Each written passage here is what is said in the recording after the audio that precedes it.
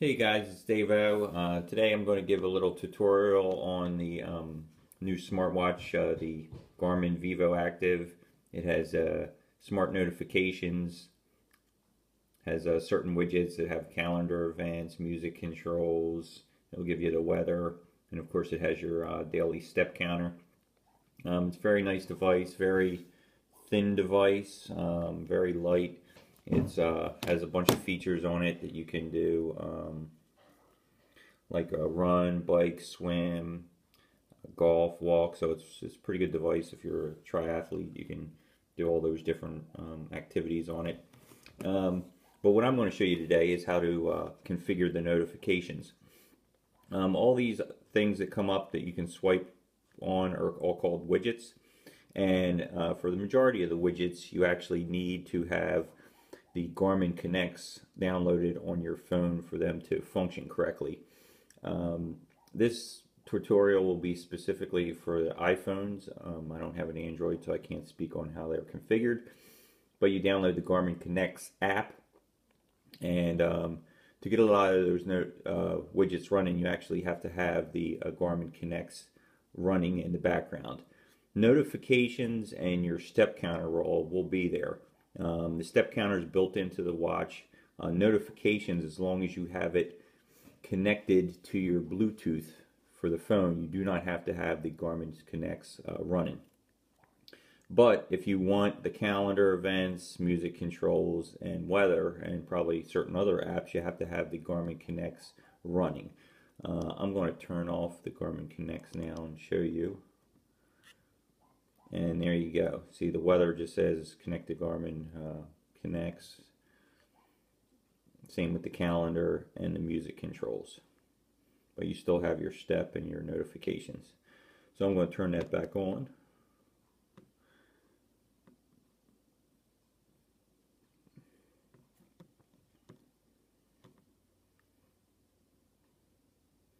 And after a couple seconds, it'll say connecting here and then you have your different controls and all that stuff is back up.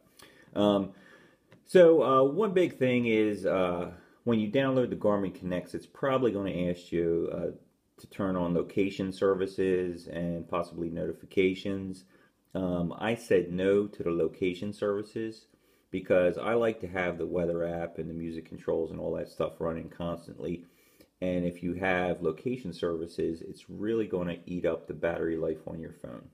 So you don't really want that to happen. So um, if you disable the location services on Garmin Connects, you can have it up and running and it won't eat up a lot of battery juice.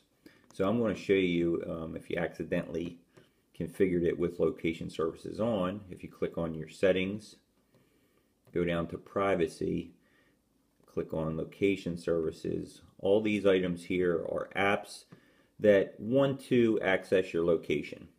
Um, and you can set each one of these manually. You can set them, uh, usually they have three different uh, options. I'll show you in the connects. They'll have uh, never, which I've chose for that, um, while using the app, or always. So if you have always, it doesn't matter if the app's running or not, it's going to be checking your location and it'll really burn up your battery juice. Um, if you want to have all these widgets running, you actually have to have the Garmin Connects running. So if you choose while using the app, it's just like saying it's always on and it's going to burn up your battery. So I select never because there's really no benefit to having location services for the Garmin Connect. Uh, not that I can figure out at least. So I set that to never and always keep it running in the background and my battery life lasts pretty long. Um, I don't notice any decline with it running or if it's uh, if it's turned off. So um, that's how you do that. The uh, notifications themselves correlate to all your different apps on here. Um, sometimes you might under you might wonder, you know, how do I close the notifications on my Garmin uh, device? Well, you really can't close them on your Garmin device. You actually have to close them on your phone. This is just uh, kind of repeating what what is available on your phone.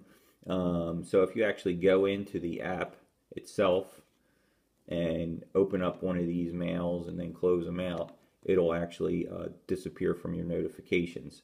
Uh, a quicker way is to swipe down and you'll see a notifications up at the top.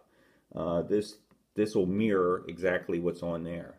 So if I want to close this Gmail notification, I can just hit on the little X, press clear, and it disappears. And both of these say no notifications. Um, a lot of apps, when you load them onto your iPhone, will actually ask about the location services and also notifications. And most people just say yes to both of those questions. Um, so if you come on to the settings and you click on notifications, you'll see includes here. That'll be all the different apps that are sending notifications to your phone and vice versa to your Garmin device. So you might want to look through here and filter out the ones that you want and don't want. If, if for instance, I didn't want this Strava notification anymore, I would just click on it and uncheck the allow notifications.